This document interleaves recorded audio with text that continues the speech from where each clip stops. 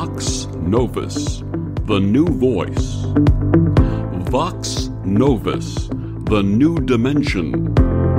Vox Novus, thought and movement leaders who will share from their experience and offer tools to help us navigate our rapidly changing world.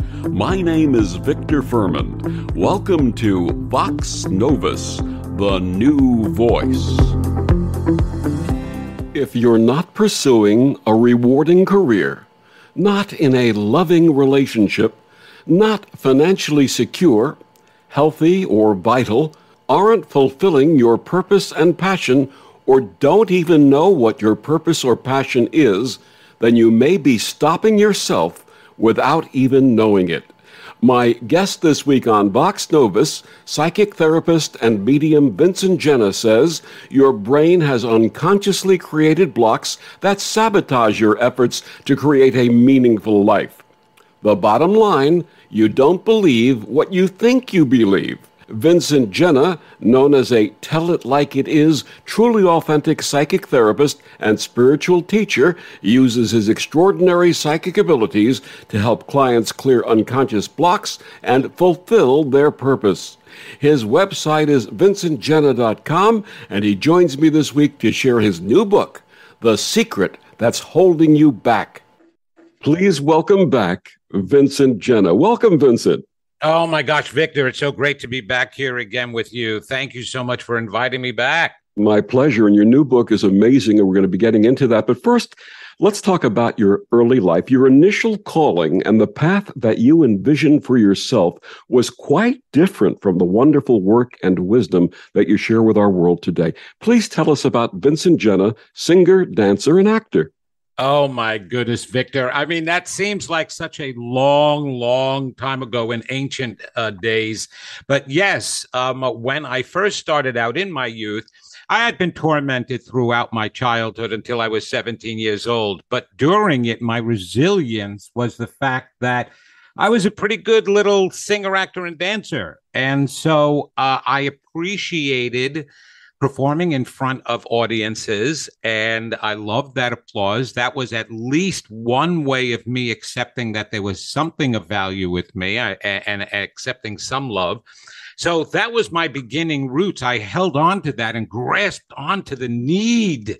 It was a need to be a singer actor and dancer and i needed to get an academy award and i needed to get a tony and an emmy sometime. That was my original goal in life, right? Uh, but it was more so to prove that I was worth something since I had been through so much torment, not only with my school peers and in my school experience, but also at home with mom and dad. So originally, that was my intention, and I was pursuing that. And I started pursuing at a young age. At 19 years old, I had my first nightclub act. Um, I had these managers, Victor, Hal and Sal. Hal and Sal.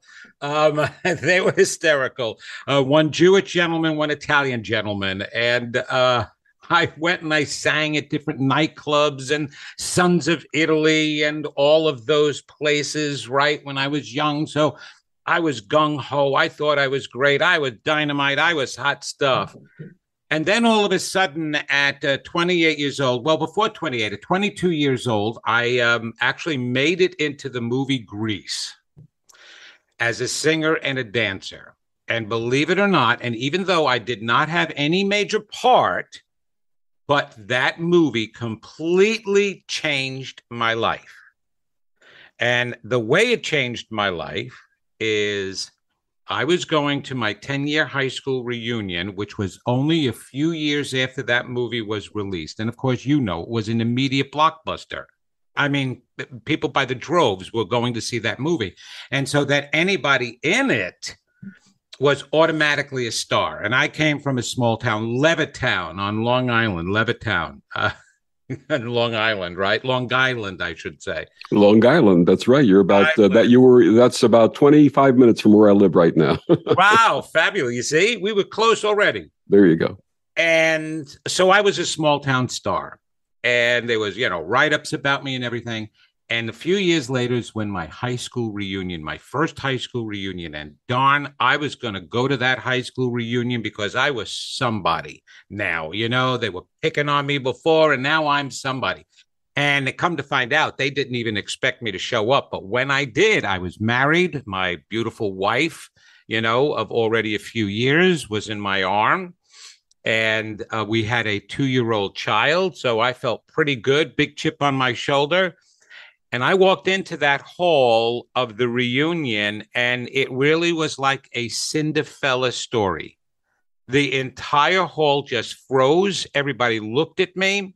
And the guy who did most of the picking on me and caused most of my antagonism with the jocks came running up to me, gave me a bear hug. And from that moment on, we became dear friends. And he was my major tormentor. And why this is so important is because at the time, his life was falling apart and I was feeling it, but he never said anything about it. But he was one of those ones that you say, So, how are you doing? And the rest of the conversation would be about how fabulous his life was work and children, married his high school sweetheart, three kids, successful job in Manhattan, beautiful condo in Connecticut. And I just kept hearing Victor BS, BS, BS, but nobody else was. And we became closer and closer and closer. And my heart was breaking for him because I kept feeling his pain deeper and deeper and deeper. And after a visit, a weekend visit, I prayed to God that I could get some ability to help this guy and people like him. I, I had no idea how to be able to help him. And so I was begging for that help. You know, singer, actor, and dancer. I didn't know anything, you know, on how to counsel people or talk with people, even just general. And within a week's time is when everything happened to me, Victor. And that's when the gates of spiritual, paranormal, metaphysical events started occurring. And I started gaining these unbelievable paranormal abilities, a psychic ability, a telepathic ability. I was reading people's minds. I was knowing what was coming up. I was knowing what was happening from people's pasts. And I was being told that my life was going to change and I was going to become a spiritual teacher. Let's let's How talk about that, that. Let's talk about that act of forgiveness uh, for a moment uh, because I think that's so important in this world. That act of forgiveness and grace was life changing for you. Please share with us the importance of forgiveness today, especially for us all. Oh my gosh, Victor, it um what people don't understand is when you don't forgive somebody, it is not hurting them, it is hurting you. It is such a weight, such a burden, such a hurt, such a pain in your heart because what's really happening is if, and you read my book, it's a defense mechanism. Lack of forgiveness is an actual defense mechanism. Okay, so you say, well, what am I defending myself with? They they hurt me. I didn't hurt them. Ah, yes, you think that consciously, but unconsciously, we grow up blaming ourselves for everything that occurs to us. We start as children because we're egocentric and we think the world revolves around us. So, good, bad, or indifferent, we blame ourselves. But as we get older, we do the same thing and we do it unconsciously. So, your lack of forgiving somebody else is actually a lack of forgiving yourself. So there's a lot of books on forgiveness, and they talk about how important it is to forgive other people, but they rarely, rarely mention why it's working. And it works because you're letting go of self blame and self denigration and self loathing when you forgive other people, including parents, including enemies. It doesn't make a difference. Here's a proof of that, Victor. As a social worker, I went back to school, I got my psychology degree, and I got my master's in clinical social work. And as a social worker, we help all different kinds of people. And one group of people we help is women who come from domestic violence situations. Our biggest hurdle and obstacle that we have to overcome with these women Can you imagine what it is, Victor, at all? Go ahead. It's getting them to stop blaming themselves for their partner being abusive of them. The first thing the women say when we tell them you've got to get out of that relationship is, no, it's not his fault. It's my fault. I make him mad. Now, these aren't children anymore. These are adult women.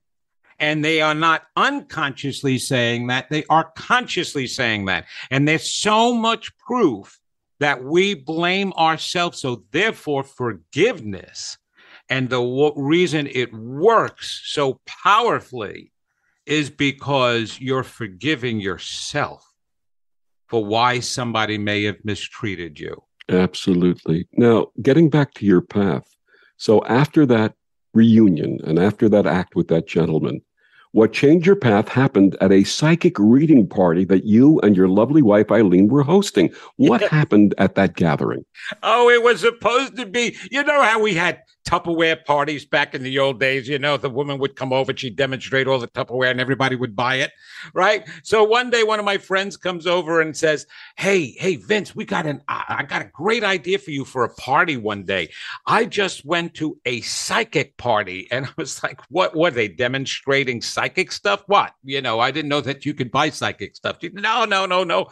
She goes in a room, you give her a room to go in and you invite some friends over, and one at a time, everybody goes in and gets a reading done. And then we gather and we talk about it and we laugh about it. It's so much fun. And so I thought, what a hoot. That would be that would be something different. And so here, my wife and I, you know, we invited a group of friends who were interested. And yes, we have this psychic come to our house that my this other friend recommended. And it was the craziest, spookiest thing.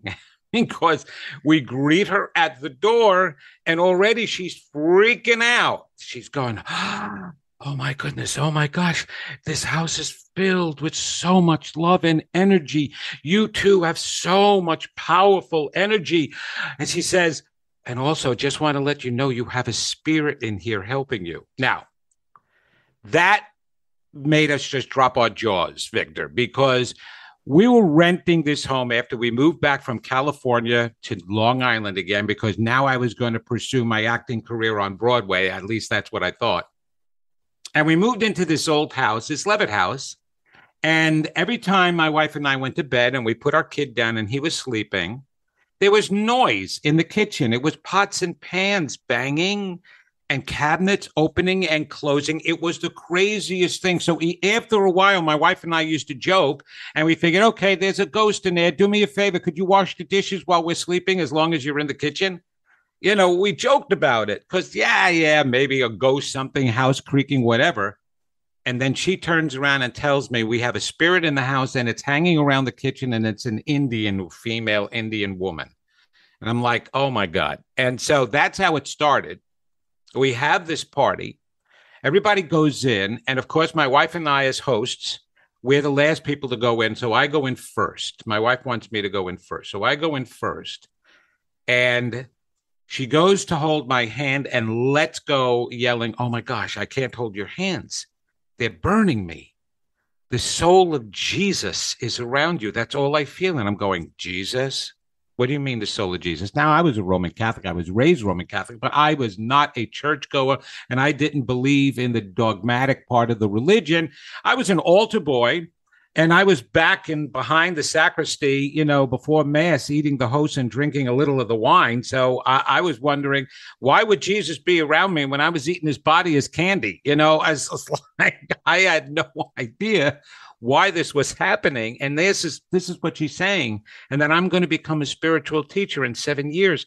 I went in for that reading so that she could tell me the year that I was going to receive my first Academy Award. That's what I was expecting to hear from her. And instead, she turns around and she tells me, I'm going to be a spiritual teacher. And I'm like, What is a spiritual teacher? I'm not becoming a priest. No, no, no. You're going to be a spiritual teacher. You're going to gain all of these gifts and abilities to be able to help people and teach people. And in the beginning, you'll start small and it'll keep expanding and expanding, and you will be speaking to people of the world. I thought she was nuts. but I was curious.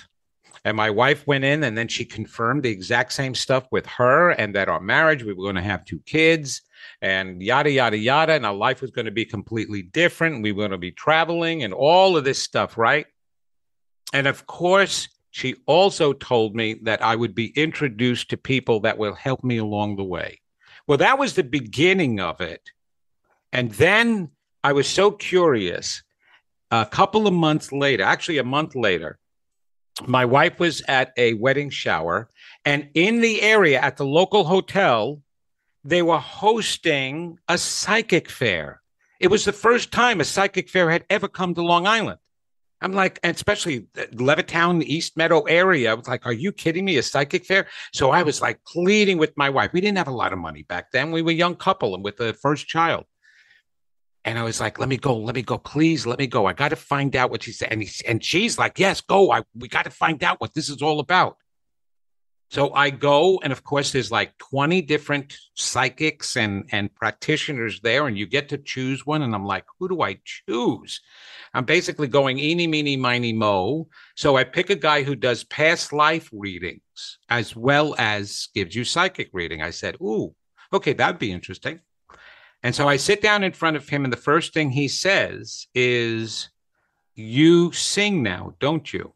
And I go, Okay, now I'm going to hear what I want to hear. Yes, baby. you got it. Yes, I'm a singer. I'm a professional singer. And he says, Well, that's because you were an African female singer eh, for your tribe in a past life. You were the one who sang at the ceremonies, and your singing would also call in the tribal members. And I'm like, oh, actually, I really love African music. I said, well, I just chalked it off. That well, that explains it. Okay, sounds good. All right. So what's coming up for me? All right. When's my Academy Award? And he turns around and he says, You have to stop focusing on being a performer. And my jaw dropped again. And I'm like, What? He said, You're meant to be a spiritual teacher. The soul of Jesus is around you. Now, this is a second guy. And I'm like, Wait a minute. You don't know this other one who came to my house, do you? But they didn't know my name or anything. There's no way that they knew each other. I go home and I tell my wife, he tells me the exact same stuff that the first psychic at the house did. And I go looking. This time I'm going to go to the city. Now I go looking for a psychic. This professional ones are in the city, New York City. I'm going to find a real reputable one, not these clowns at a psychic fair and somebody who comes to your house. They don't know what they're talking about. And I go find this this very well-known one, at least locally, I guess. And I go to Manhattan, Manhattan from Long Island to go to a psychic the next month. And this psychic turns around and says, The soul of Jesus is around you. You're going to be a spiritual teacher, and he's going to help you with the words. And how could I refuse that now? That's how it began with a psychic. And then my curiosity kept leading me to people and friends who were automatic writers who now introduced me to my own guide besides Jesus, was telling me how I can communicate with my guide and shortly after that, I had an unbelievable download and became a trance without even knowing what a trance was. And I'm speaking as this other guide with all of these words of the most incredible wisdom coming out, Victor. I really thought I was going crazy, but it was too positive. It was too loving. And that's the reason why my wife, thank God, she was with me since I was 17 years old. So she knew the things I was talking about, I had no idea about beforehand. All these these ancient things. We used to go at that point, we went to the library and we would go to the bookstore. And back then, the spiritual section was called the occult section. You remember that, Victor? Oh, absolutely. And we're sneaking around because I didn't want anybody seeing me in the occult section that knew me in my town, right?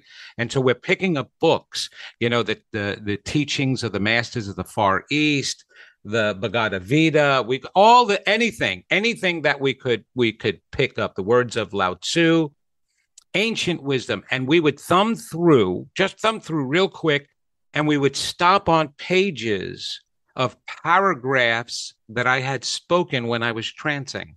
Mm. Paragraphs that were in those books, and we would look at each other and go, all right, something crazy is going on here. Oh my gosh, this is this is crazy. How did I know these words? I never read these books before. The exact words. And that's what was happening. And then I was finally directed to the Edgar Cayce Foundation and material and was told I needed to study there. And that began normalizing me.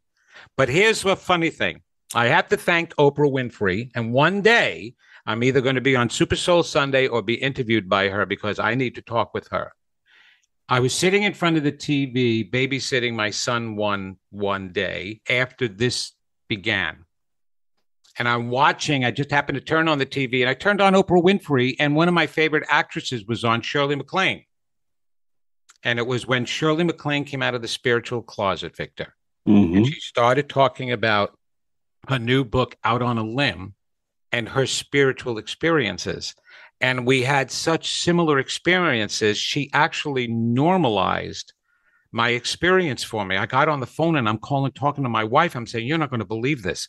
Shirley maclaine just had the same experience and she's on oprah winfrey talking about it. And it was unbelievable the similarities and it made me feel so comfortable and real and that i knew all right, something was going on somehow, some way. And that's when I began to pursue it, but very slowly. And I started researching everything I could, but very, very cautiously and slowly, because I couldn't give up wanting to be an actor.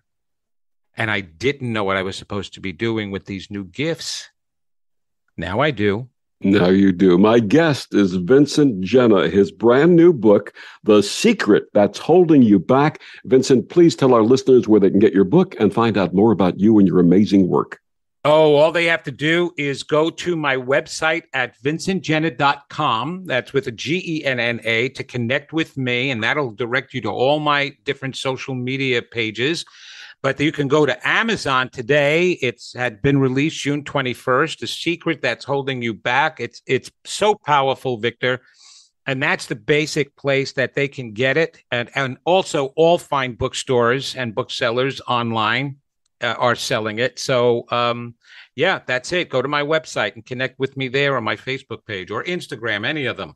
And we'll be back with more of Vincent after these words on the Om Times Radio Network. The best of the holistic, spiritual, and conscious world.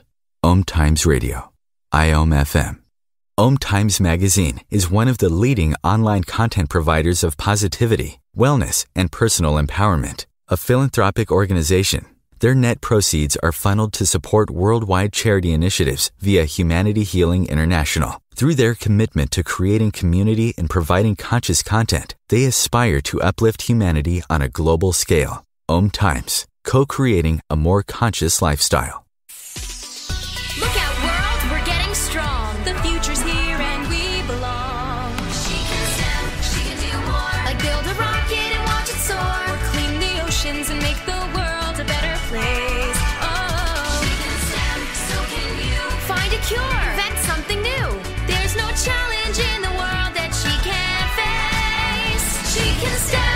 Learn more at She Can STEM. A message brought to you by the Ad Council.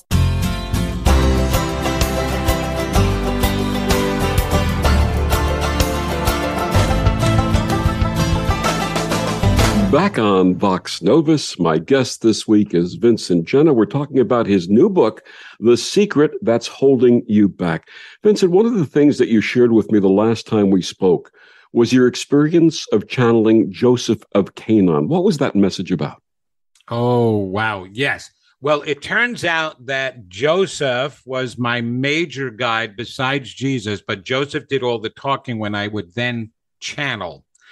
And it, it wasn't at first natural. Like I said in the beginning, it became, it happened very unnaturally. All of this wisdom was piling into my head, and I had to speak it. I had to, I was forced. I was so um, compelled to speak the words that were coming into me. And that's how it began. And of course, it was just between my wife and I. Now, I was doing that before Abraham Hicks came about, you know, but I wasn't going to bring it public. We're talking about back in the 1980s, the early 1980s, that this began, actually mid 80s, that this began with me. And so the New Age movement had started, but it really wasn't out in the open, right? The New Age movement was more for those hippies, you know, who were into it, or those woo woo people from California, right? Where I had been living prior doing my movie career. And so when this began happening to me, um, Joseph introduced himself, and it's so funny because the way he wound up really introducing my, himself to me and before coming through me was from a friend of mine. When this was beginning to go on, I wasn't talking to about this to a lot of people at all. Maybe my family, you know, we did. Uh, who thought I was nuts for sure? My wife was the only one who didn't think I was nuts. And then a friend of mine who was visiting from California, an actress friend, and she was really close. So I knew I could talk to her. So I started talking to her about what was happening. And then she opens up and says, You know, my husband is an automatic writer. And I'm like, What's an automatic writer? Well, he communicates with his guides and they write through him. I said, they write through him. Are you kidding me? Now you're a crazy one too. Why didn't you tell me about this while I knew you? And she said, because we don't talk about these things. You know how people don't accept them. So it was very hidden. And I'm like, oh my gosh. She says, well, uh, we were taking a trip back to California for a friend's wedding. And she said, why don't you go see him and see what happens? So I go and see him. He does all this writing for me and turns around and he starts with his guide and then introduces me to the one I'm supposed to be talking to besides Jesus, this Joe. Joe, he says, Joe. So I get to speak to Joe. I say, oh, that's convenient. My brother's name is Joe, so at least I'm not going to forget him. So gives me all of these messages. Yes, you can talk with Joe. Well, I get back with all of this information on paper, and I, am like, I'm reading it over and over and over again because it was just crazy. So my wife says, Why don't you call up your first, our first psychic who came to the house? And I can use her name. Her name was Doris. And uh, go see her. Doris lived in Queens, and we lived at, we were, were still renting in Levittown. Go see Doris. Okay, I'm going to go see Doris she's the one who started this whole thing, so I might as well. So I call her up. I don't tell her anything. I just say, I, I need to talk with you. Can I come at any time? She said, Oh my gosh, why don't you come on Wednesday? I'm having my meditation group. I didn't know what meditation was at that time, except a bunch of people sitting around and oming. That's the, uh, you know, you see that on TV. We're going to sing Kumbaya and we're going to meditate. Who? With crazy, other crazy people? I can't believe. so she has me come out all right. It's going to be about 12 people there. 12 people. Oh my gosh. So I come into her home and there's all different people there, men and women, younger, older. And she introduces me and she says, I need you to remember this person's name, Vincent Genna, because within seven years, he is going to be a known spiritual teacher. And beyond that, he's going to become internationally renowned and I'm embarrassed. I turned so red. I can feel my face flaming of embarrassment because I'm like, are you kidding me? I don't even know what to say to these people. And now you're telling them I'm going to be a famous spiritual teacher. It was really driving me crazy that she actually said that. And, but, but these people were school teachers, nurses, doctors, a lawyer was even there and I'm like, wow, these are normal people. You mean normal people meditate and they're not smoking pot? I was like, okay. So we sit down in a circle in her living room. There's a candle in the middle of the room, and there's like all these chairs in a circle. And I'm like, oh boy, okay. And it's dark. She turns out all the lights other than the candle that's lit in the middle. And she starts guiding us close your eyes, your outer eyes, and we're just going to sit here for a while and meditate. And all of a sudden, I start hearing people going, Oh my gosh, do you see that? And I'm like, Oh my God, my eyes are closed. There's no way I'm opening up my eyes now. No, I'm not opening up my eyes. I'm not going to see anything. I don't want to see anything. What are they talking about? And then the next person next to her is going, I do. I see it. It's swirling all around him. And I'm like, swirling all around. What's swirling all around? Who is and what? I was freaking out. I was pouring sweat was dripping down. My underarms were so drenched. It was unbelievable because I I didn't know what they were talking about and then I was feeling all of this heat around me and now all the people and I'm still I still have my eyes closed. I refuse to open up my eyes. Now everybody is talking about oh my gosh the light is all around him and so of course what am I going to do now? Everybody's talking so I have to open up my eyes. I open up my eyes and this white light like smoke is swirling around me in a spiral all around me, just me, but it's lighting up the entire room. It was pitch black in the room, and now the room is really bright, and this light is swirling around me and swirling all the way up straight through the ceiling of the living room. And I'm frozen. I'm frozen in panic, in, in, in totally panic. And they're just staring at me. I was, I don't know if it was embarrassment besides fear and all of a sudden, the psychic Doris starts talking, but she's not talking as Doris. She's talking as a man and a man's voice and turns around and says, This is how she starts it. All right, Victor, and I'm not exaggerating any of this for any of your listeners. All right, this is exactly how it happened. And she turns around and she says, Don't call me Joe. My name is Joseph mm. from Canaan. Now, mind you, I never had the chance to tell her yet about my visit with my friend and the pages that were in my back pocket about this Joe guy. I never told her. And she starts speaking, and I'm freaking out. And she's telling me, I am going to be your guide. You'll be able to talk with me. I am going to help you mostly, though Jesus will be around to help us as well but I'm the one you will be communicating with. And that's how it started. Now, Joseph from Canaan is really interesting because just prior to that entire situation, I was in a show and it was Memorial Day weekend. And the cast, one of the cast members had a family home upstate New York and invited the entire cast to spend the Memorial Day weekend at his parents' farm. It was a farm. And it was right outside of Albany. And so we all go upstate there. Now, this is with the cast. And while we're there in town at the local regional theater was the musical Joseph and the Amazing Technicolor Dreamcoat. well, I was a you know I was into musical theater, right? I knew all the shows. This this had just opened up on Broadway, and now it was going out on tour, and it was a touring company, and I hadn't seen it yet. So we go and see it. Now this is remember this is all prior to all this download and all of this spiritual stuff happening to me. And we're watching it, and I cried through the entire show. I, I could do nothing but cry for Joseph because I felt his pain with what his brothers did to him and torment him. I kind of related to it with all the torment I had been through, right? And then I was so I, I, was it was so amazed how he became so well known and famous and how loving he still was. I just I didn't understand. My wife was looking at me saying, "Vin, Vinny, why are you so choked up?" I said, "I don't know. I feel this guy. I feel this guy, and I don't know why I'm feeling this guy." And then this whole thing happened. So when I see this, my friend in California, and he's telling me about Joe, I never made the link.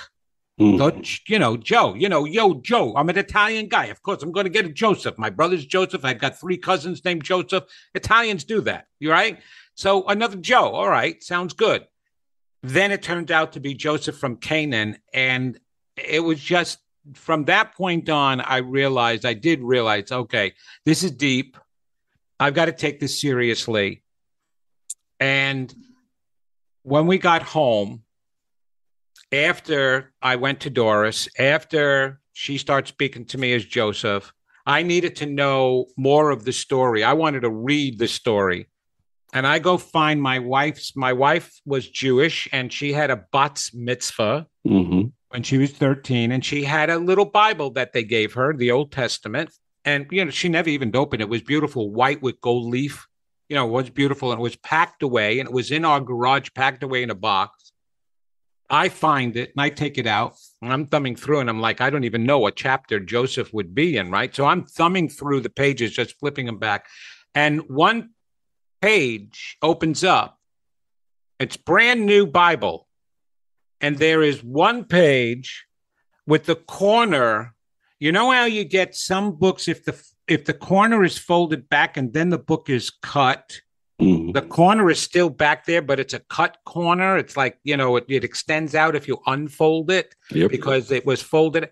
There's one page in the Bible with the corner doing that, and so it's it was kind of like a little tab, and I go to it, and it begins the story of Joseph, the son of Jacob, Canaan, the son of Jacob. And we've had a close relationship ever since. Me so- and that is- Joseph. That is so, so wonderful. Your new book is entitled The Secret That's Holding You Back. What inspired this book? That's a great question. I appreciate you ask, asking me that.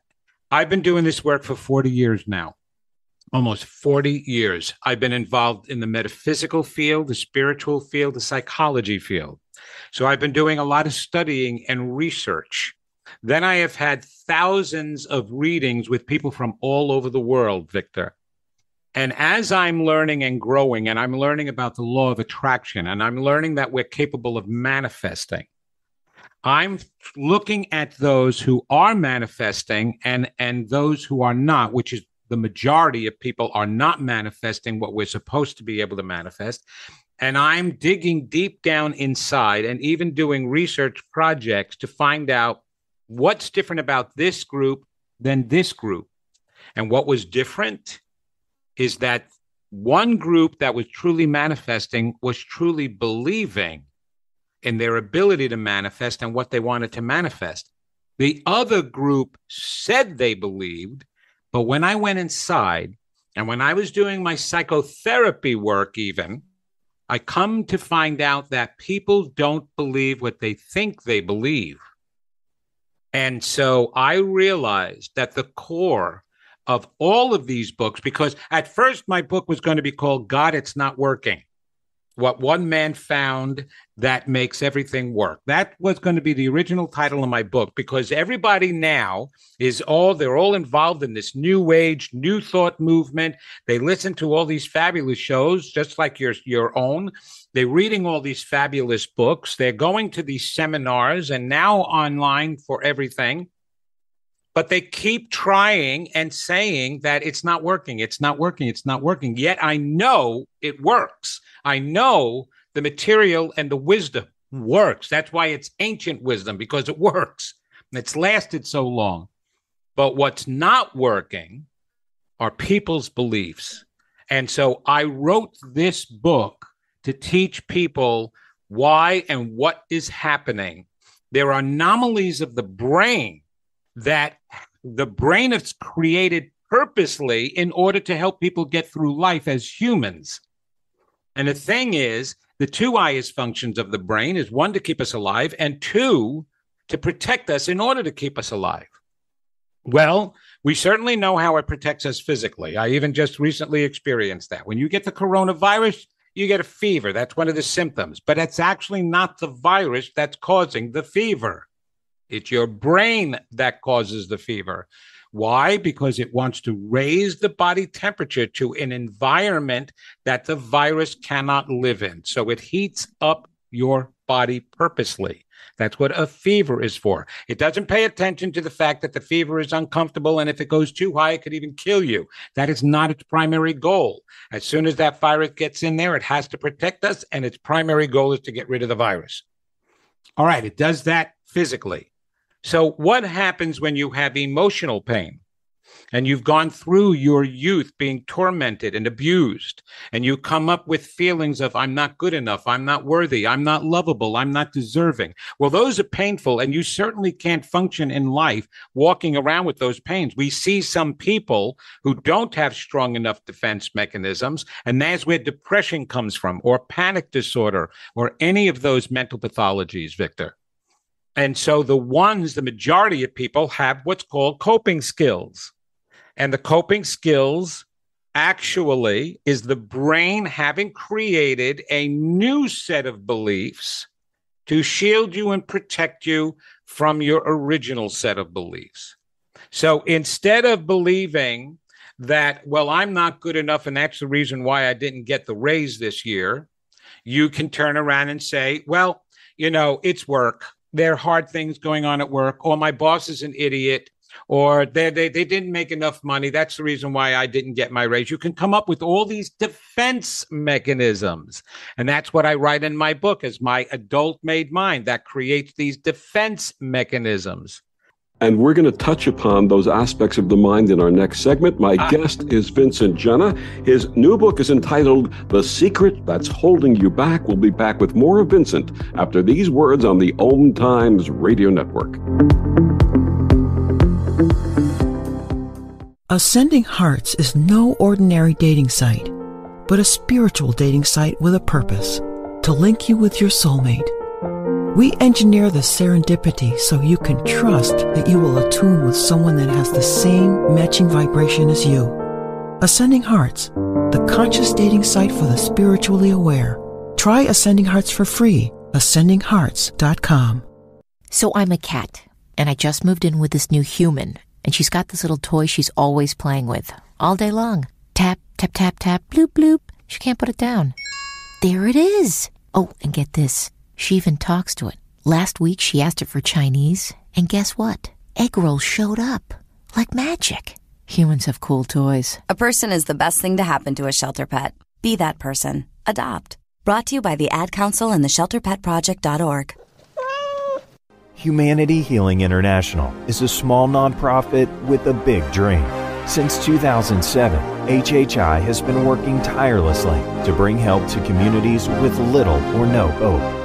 Our projects are not broad mandates, nor are they overnight solutions, but they bring the reassurance that no one is alone and that someone cares. To learn more, please visit humanityhealing.org. Humanity Healing is where your heart is. Right now, our country feels divided, but there's a place where people with different political views and life experiences are coming together through the power of conversation, and it feels good. Hear more at lovehasnolabels.com slash one small step. A message from StoryCorps Love Has No Labels and the Ad Council.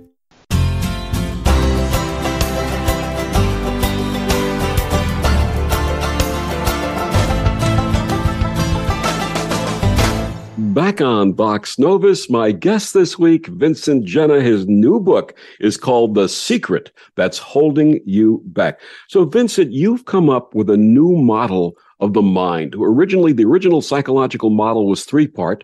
You added a fourth part and a fifth part. Tell us about that, please. I did. And and you know, it's really interesting because we don't know how many parts there really are. When when Freud was doing all this work, on the mind because he helped to really, you know, designate the sections. You know, he was looking at um, what he could see, what he could find, what he could reason with. And so that's how they came up with the conscious, the subconscious, the superconscious, or the unconscious mind. It was actually Carl Jung who um, then called it the superconscious, who was Freud's student and became very famous. So that was that. And so we know that the brain likes to compartmentalize. And that was another thing I learned in psychology. We have all these compartments because the humans love compartments. Like they have their compartments for their family, and then their compartments for their friends, and their compartments with work. And they may act different and they apply energy to each one of those compartments. And we kind of discovered in, in research that the more compartments a person has, the healthier they seem to be. So the brain likes to compartmentalize. So now here we come into this world. And I believe that the soul's mind is actually contained in your superconscious mind. And Carl Jung was really close when he was talking about that that's where the mind is connected to the collective unconscious mind where all wisdom is all the knowledge all the knowing is in that mind or another way of putting it the mind of god well if that's where that connection is then the soul has to be at that point now, the soul is all positive and loving and comes from the other side and is totally connected to the God source. And it's growing and it's remembering and knowing who it is, right? Coming from the other side and all this love and support that's on the other side. Now, it comes into a world where the messages aren't necessarily so positive and there's all these negative messages, and children start to absorb these messages because they're sponges. But the mind is not going to, the brain is not going to mix those negative messages in the unconscious part of the mind where the soul's mind is, because that's like mixing oil and vinegar. No, they don't belong there. I got to make another compartment for these negative things. So I call that other compartment the environment made mind or the EMM. Why the environment made mine? Because, like I said, we're sponges when we first come in, and all the messages we receive from the environment oh, you shouldn't have done that. That's a bad boy. That's a bad girl. Or you could do better than that. Or um, all of those kinds of negative messages, any of the abuse, any of the, the socioeconomic background messages we receive about being poor, about being rich, whatever it is, those messages get harbored and collected together in that environment made mind.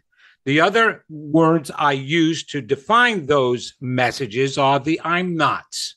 That's what we harbor. The I'm not good enough, I'm not lovable, I'm not deserving. I, I talked about that earlier.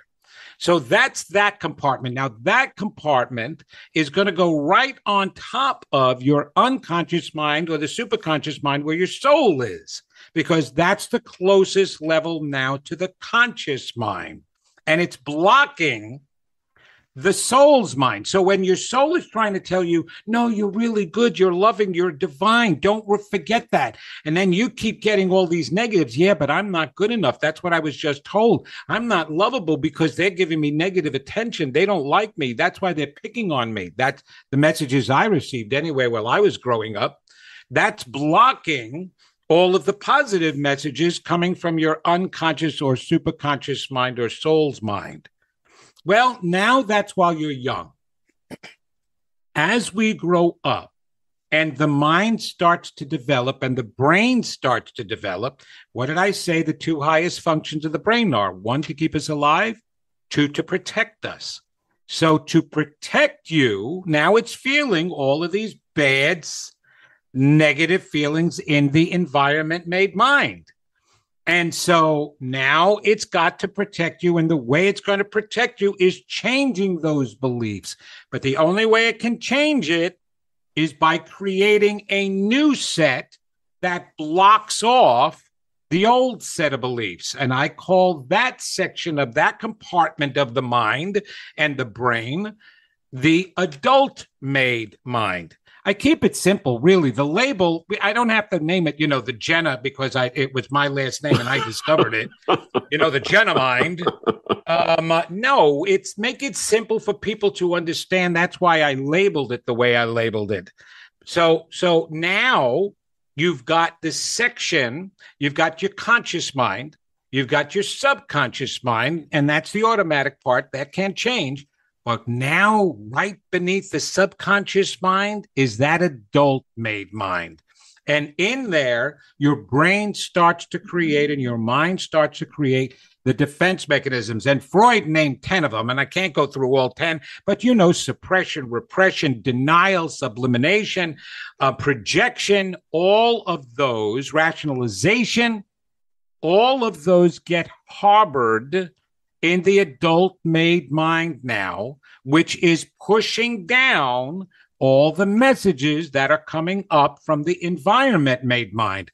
I'm not good enough. I'm not lovable. No, by the time that reaches the adult made mind, the adult made mind shuts that off and says, no, it's not that you're not lovable. They're not lovable. They're the bad people. They are the haters. They're the bigoted ones. They're the racists. You're not. You're good. You're, you're, you don't, you think about that. Don't you think about that.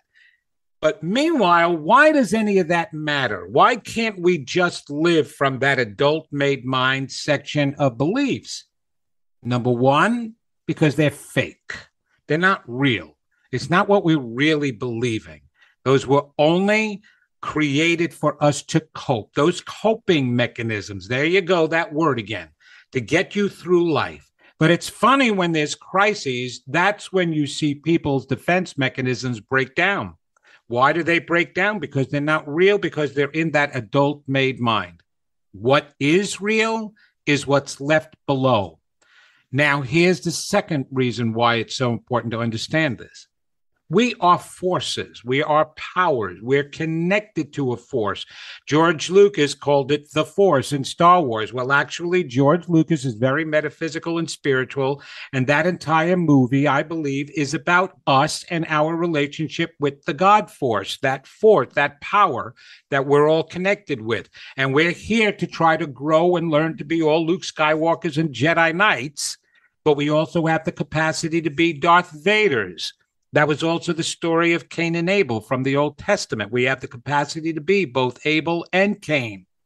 And we see that actually happening today. We see the Cains in the world. And why? Because of the hurts. So here we are in the adult made mind with all of these new beliefs, but we are connected to this power. But where are we connected to the power? A lot of the teachings of the law of attraction are a little misleading. They're correct but they're misleading. Why? Because the primary thing that is taught is that your thoughts create.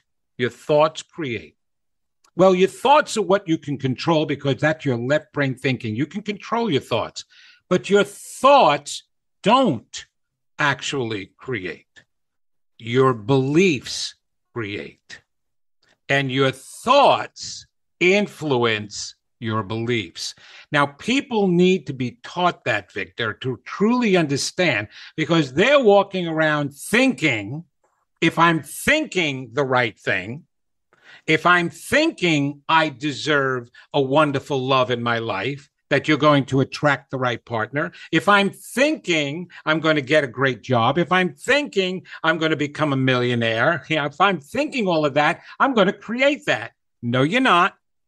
You're not going to create that because if thoughts created, half the world right now would be dead and the other half would be billionaires from winning the lottery.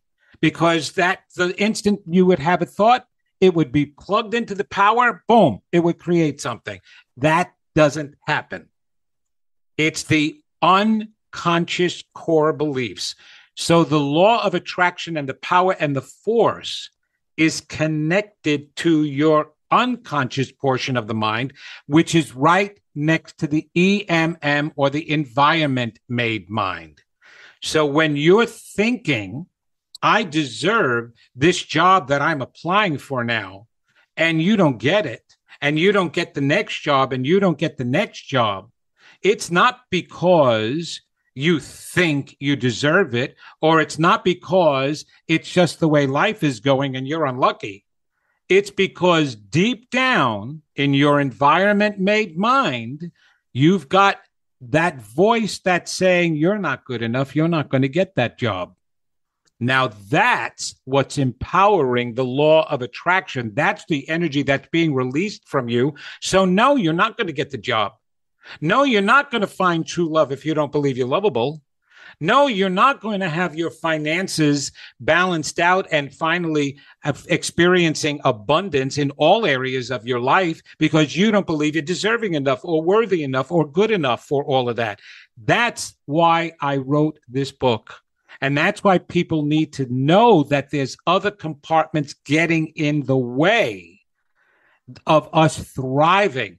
Oh, yes, people call me from all over the world, Victor and they're surviving. But that's not why they call me. They call me because they know deep down somewhere something is reminding them. Because remember, I said that soul is still trying to get the truth up about who you really are. And every so often you get glimpses of it. And it's trying to tell them that they're supposed to be more than just surviving. That you're supposed to be thriving, that you're supposed to be fulfilling your dreams, that you may not even know what your dream is, but you're supposed to have one, that you're supposed to be feeling special because you're a divine being, those messages are coming to people, but they have no idea what's stopping them. So they don't need me to survive. They've done a good job of surviving. And if you look at the world, we're over 11,000 years old, and they're coming to find out we're even older than that. We've lived and thrived. We're not thrived. We've grown and lived and survived for 11,000 years.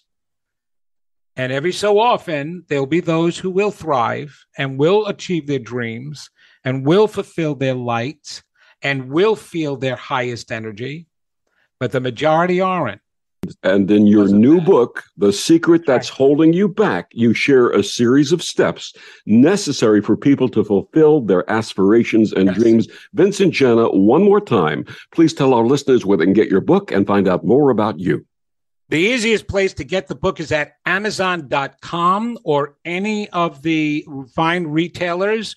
Um, you can go to my website at vincentgenna.com to link with me, and that's with a G E N N A. And once you do get the book, do the reading. Please read it and do the work. It's going to be the most difficult work you have ever done and the most profound work you have ever done because you are going to see a transformation that you've never seen before.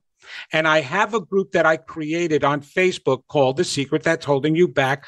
Come and join us there. Share your successes, share your stumbling blocks. I will be there to speak with you to help you through it all. We'll share with each other because that's how growth comes is by sharing in unity. And so please pick up the book, do the work, come join the group, amazon.com and vincentgenna.com. Vincent, thank you. thank you so much for joining us and sharing your wisdom and your grace with our listeners. Well, thank you for having me. It certainly was a pleasure. And we just definitely got to get together again. And thank you for allowing me to be able to put this message out into the world. Thank you so much, Vincent. I greatly appreciate this. And thank you for joining us on Vox Novus. I'm Victor, the voice Fuhrman. Have a wonderful week.